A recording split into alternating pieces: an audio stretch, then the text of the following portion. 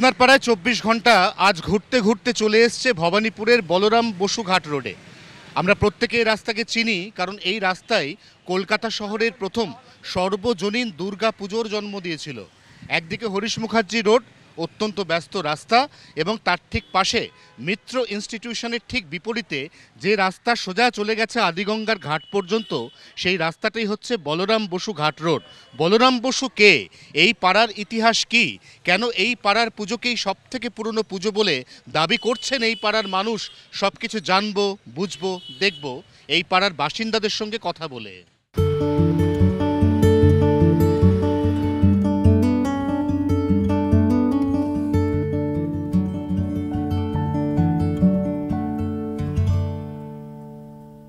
বলরাম বসু ঘাট রোডে এসে প্রথম আমাদের সঙ্গে যার আলাপ হলো, তিনি অমিতবাবু অমিত চ্যাটার্জি।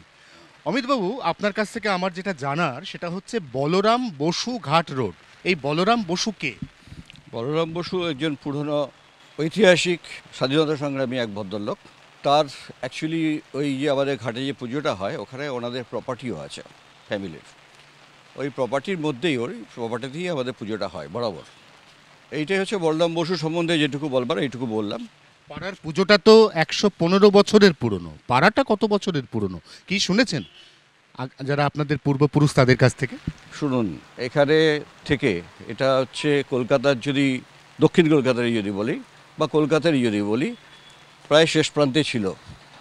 তারপরে কালী মন্দিরের ওখানে যেতে গেলে জঙ্গল পেরিয়ে কালী মন্দির প্রতিষ্ঠা হয়েছিল সেখানে যেতে হতো।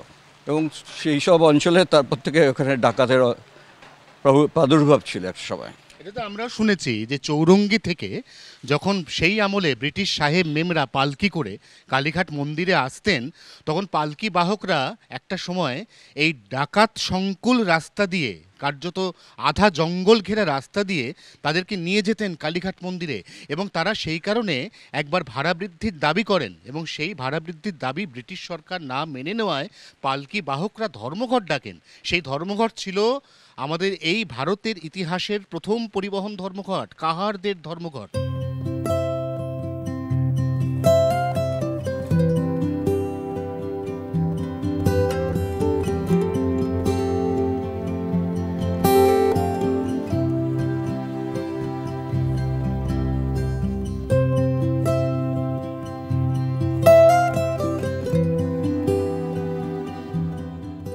ভবানীপুরের এই বলরাম বসুর ঘাট। এই ঘাটেই জব চার্নক তিনি সুতো নিয়ে ব্যবসা করতে যেতেন একেবারে শহরের দক্ষিণ প্রান্তে। আমাদের সঙ্গে রয়েছেন এই পাড়ার বাসিন্দা। কি নাম আপনার? নমস্কার আমি শুভদীপ চট্টোপাধ্যায়। শুভদীপ বাবু এই যে বলরাম বসু ঘাট রোড এই ঘাটে সতীদাহ হতো এরম শোনা যায়। সত্যি কি হতো? হ্যাঁ এই ঘাটটি বলরাম বসু ঘাটের আগে এটাকে বলা হতো মুখার্জিদের ঘাট। যেরকম অনিল মুখার্জি এখানে ছিলেন, কলকাতা কর্পোরেশনের চেয়ারম্যান, ওনাদের বাড়িরই এই ঘাটটি ছিলেন। পরবর্তীকালে এই ঘাটটি এটাকে অন্যান্য যারা আছেন বলরাম বসু তারা টেক ওভার করেন বা কিনে নেন। এবং এইখানে মুখার্জি বাড়ির দুই মেয়ে সতী এবং দেবীর এনাদের সতীদাহ হয়। এবং সেই ফলকটি এখানে একটা আছে আর একটা আছে আমাদের ইন্ডিয়ান ন্যাশনাল মিউজিয়ামে সেটা আপনারা এখানে দেখতে। সেখানে এখনও সাধারণ মানুষ গেলে এই সতীদাহ ঘাটের ফলক দেখতে একদম দেখতে পাবেন। আরেকটি ফলক ঘাটেই রয়ে গেছে। এটা কার উদ্যোগে ঘাটে বসানো হলো? এইটি আমাদের দুর্গাপুজো যে অর্গানাইজেশন আছে, ভবানীপুর সনাতন ধর্মোৎসাহিনী সভা, কলকাতার প্রথম সর্বজনীন। এটা আমাদেরই ক্লাবের মেম্বাররা এবং এলাকার যত লোকজন আছেন, তাদের সকলের সহযোগিতায় এখানে আমরা এটা রেখেছি। প্লাস একটা হেটি হেরিটেজ এই ঘাটটাকে হেরিটেজ উপাধি দেওয়া হয়। তো ক্যালকাটা কর্পোরেশনের সহযোগিতা এবং আমাদের এলাকার সহযোগিতা, প্লাস আমাদের যে দুর্গাপুজোর যে ক্লাবটি আছে, তারা সবাই মিলে এই ঘাট, এই ফলকটি এখানে রেখেছিল। আচ্ছা এই ঘাটের এই ফলক বা এই ঘাটের যে সতীদাহ, সেই সতীদাহের যে গল্প, এই গল্পের উপর নির্ভর করে আমরা যেটা শুনেছিলাম, একটা বোধহয় খুব জনপ্রিয় ছবি তৈরি হয়েছিল। হ্যাঁ এখানে অনেকগুলি ছবিই তৈরি হয়েছে। প্লাস এখানে আপনি জানবেন মলিনা দেবীর বাড়িও আছে, বিখ্যাত অ্যাক্ট্রেস তারপরে ওনারা এখানে বিভিন্ন রকম অন্তর্জলি যাত্রা থেকে শুরু করে এখানে যে ছোট ছোট বাড়িগুলো দেখছেন, এখানে আগে লোকে স্নান করতে এসে অন্তর্জলি যাত্রার আগে এখানে এসে থাকতেন। তো এই পরিপ্রেক্ষিতে মৃণাল সেন থেকে শুরু করে অনেকেই ছোট ছোটোভাবে এখানে ডিরেক্টোরিয়াল বিভিন্ন সিন নিয়ে গেছেন। বলরাম বসু ঘাটে সতীদাহ যে হতো, তার প্রমাণ আছে, তার অনেক চর্চা আছে, তার অনেক কথন রয়েছে এবং সেই কথনগুলি প্রামাণ্য, কারণ আর্কিওলজিক্যাল সার্ভে অফ ইন্ডিয়া এখান থেকে দুটো ফলক উদ্ধার করেছে, একটি রেখেছে ভারতীয় জাদুঘরে এবং আরেকটি এই পাড়ার বাসিন্দারা সযত্নে সাজিয়ে রেখেছেন পাড়ার এই ঘাটের মধ্যেই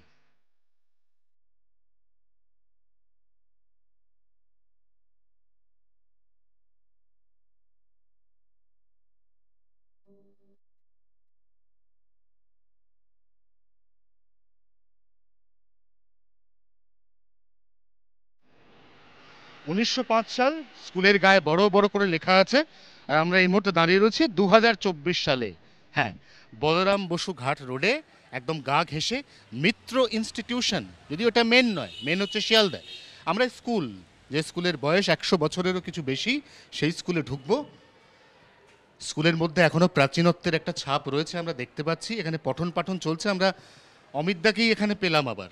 অমিতদা কি ব্যাপার? আপনি স্কুলে? এই স্কুলেরই প্রাক্তনী আমি। হ্যাঁ হ্যাঁ। আচ্ছা আমি কোন সাল থেকে কোন সাল আপনার ছাত্র? আমি উনিশশো একষট্টি থেকে উনিশশো বাহাত্তর।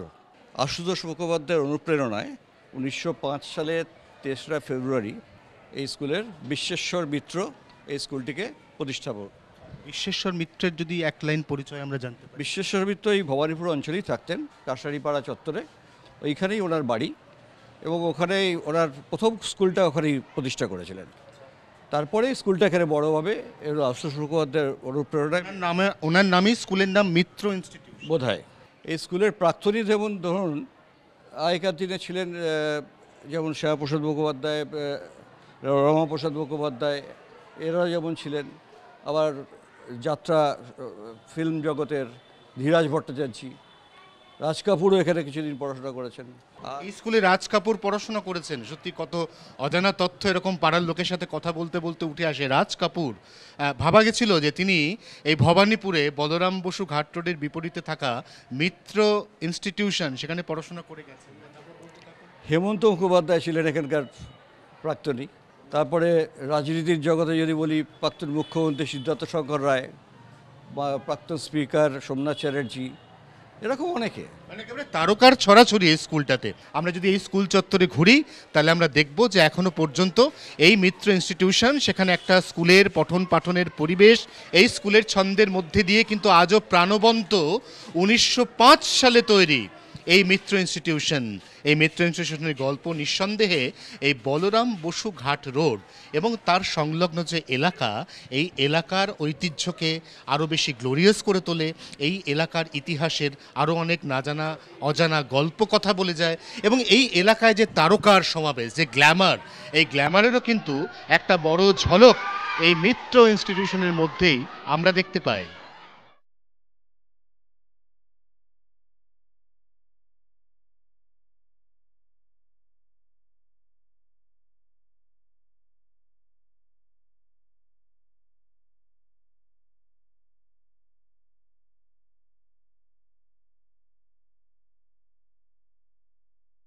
শিব মন্দিরের সামনে কলকাতা শহরের প্রাচীনতম বারোয়ারি বা সর্বজনীন দুর্গাপুজো। কেন প্রয়োজন হলো এই দুর্গাপুজো করার? কারা শুরু করলেন? নিশ্চয়ই জানতে কৌতূহল। কারণ কলকাতার বা পশ্চিমবঙ্গের দুর্গাপুজোর ইতিহাসে এই পুজোর গুরুত্ব অপরিসীম। শহরকে প্রথম বারোয়ারি পুজো উপহার দিল এই অঞ্চল, বলরাম বসু ঘাট রোডের বাসিন্দারা। আমার সঙ্গে রয়েছে এই পাড়ার বাসিন্দা। কি নাম আপনার? আমার নাম শিবাশিস দাস শিবাশিস আপনার কাছে আমাদের প্রথম প্রশ্ন এই যে পুজোর কমিটির নাম এই নামটা কি? পুরো নাম ভবানীপুর সনাতন ধর্মোৎসাহিনী সভা। সনাতন ধর্ম উৎসাহিনী সভা এই নামটা কোথা থেকে ডিরাইভ হলো? উৎপত্তিটা কি? অ্যাকচুয়ালি উৎপত্তি সনাতন ধর্মের অস্তিত্ব রক্ষার্থে এই ভবানীপুর সনাতন ধর্মোৎসাহিনী সভা প্রতিষ্ঠিত হয়েছিল। আমাদের এই বলরাম বসু ঘাট হরিশ চ্যাটার্জি স্ট্রিট এই অঞ্চলের বেশ কিছু বর্ধিষ্ণু মানুষ ছিলেন যারা সেই সময় মনে ভেবেছিলেন যে শুধু রাজবাড়ির পুজোর মধ্যে সীমাবদ্ধ না থেকে বা পারিবারিক পুজোয় সীমাবদ্ধ না থেকে যদি এই পুজোটাকে মানুষের জন্য মানুষের মধ্যে এই উৎসবে সামিল করা যায় মানুষকে, তাই তারা এখানে এই পুজোর প্রচলন করেছিলেন। এবং সেই সময় আমরা যেটা জানতে পেরেছি, আমাদের যারা বয়োজ্যেষ্ঠ মানুষ এই পুজোর সঙ্গে ছিলেন, এই অঞ্চলের বেশ কিছু মানুষ, বর্ধিষ্ণু মানুষ, তারা আমাদের এখানের অত্যন্ত গুরুত্বপূর্ণ একজন ব্যক্তি ছিলেন মাননীয় শ্রী খগেন্দ্রনাথ শাস্ত্রী মহাশয়। তিনি হিন্দু মহাসভার সঙ্গে যেমন ওতপ্রোতভাবে জড়িয়েছিলেন, ঠিক তেমনই তিনি আপনারা নিশ্চয়ই জানেন এটা কালী ক্ষেত্র বলে পরিচিত ছিল। তা কালী মন্দির কমিটির সঙ্গেও তিনি পরিচিত ছিলেন, জড়িত ছিলেন এবং ওতপ্রোতভাবে জড়িত ছিলেন। তিনি সিদ্ধান্ত নেওয়ার মতো জায়গায় থাকতেন। যে এই যে শিব মন্দির, দেখছেন এই মণ্ডপ, এ পুজোর থেকেও প্রাচীনতম এই শিব মন্দির, এই অঞ্চলে আপনি যদি দেখেন তাহলে পরপর দেখবেন সাতখানা শিব মন্দির আছে। শিব মন্দিরগুলির আনুমানিক বয়স কীরকম বলে আপনাদের? তিনশো সাড়ে তিনশো বছর। প্রায় তিনশো সাড়ে তিনশো বছর পুরনো এবং এই জায়গাটাই একটা নিজস্বতায় তার ইতিহাস। এরকম আরও রোমাঞ্চকর সমৃদ্ধ ইতিহাসের কথা আমরা এই পাড়ার আরও আরও বাসিন্দাদের কাছ থেকে জানব শুনব এবং দেখব একটা ছোট্ট বিজ্ঞাপন বিরতির পর।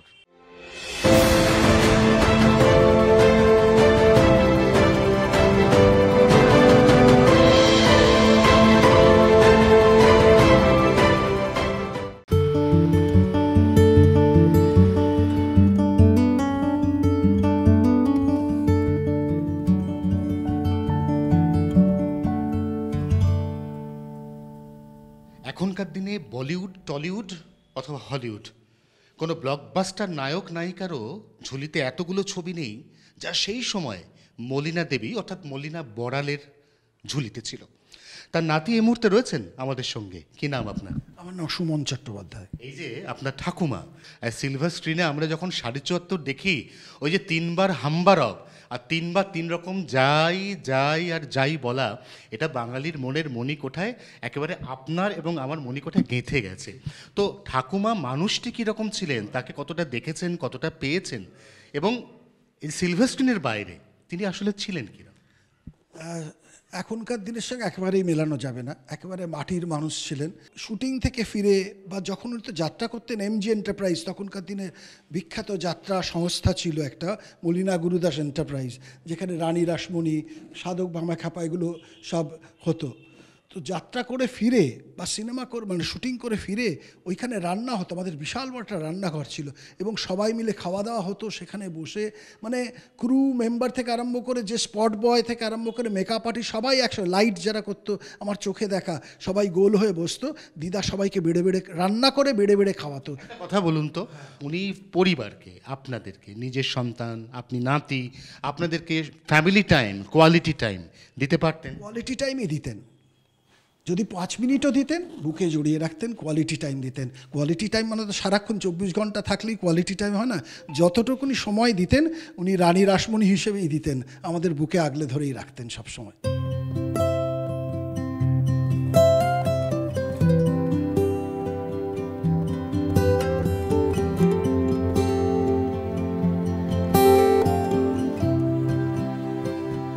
চৌবাচ্চা ফুটো হয়ে জল বেরিয়ে যাচ্ছে। কিছুদিন কাজ করে শ্রমিকরা কাজ ছেড়ে চলে যাচ্ছেন। অঙ্কের ভাষার মধ্যে দিয়ে সবাইয়ের কাছে কার্যত আতঙ্কের অন্য একটা নাম, কে সি নাগ। হ্যাঁ ঠিক ধরেছেন। আমরা এই মুহূর্তে দাঁড়িয়ে রয়েছি কেসি নাগের বাড়ির সামনে। কেসি নাগের বাড়ির লোক কেসি নাগ নিয়ে কি বলবে? আসুন দেখি শোনা যাক। আমরা এখন যার সাথে কথা বলব, তার সাথে প্রথমে একটু দর্শকদের আলাপ করিয়ে দিই। ইনি হচ্ছেন কেসি নাগের নাতনি। আচ্ছা কেসি নাগ শুনলে কিন্তু সত্যিই আমাদের খুব ভয় লাগে।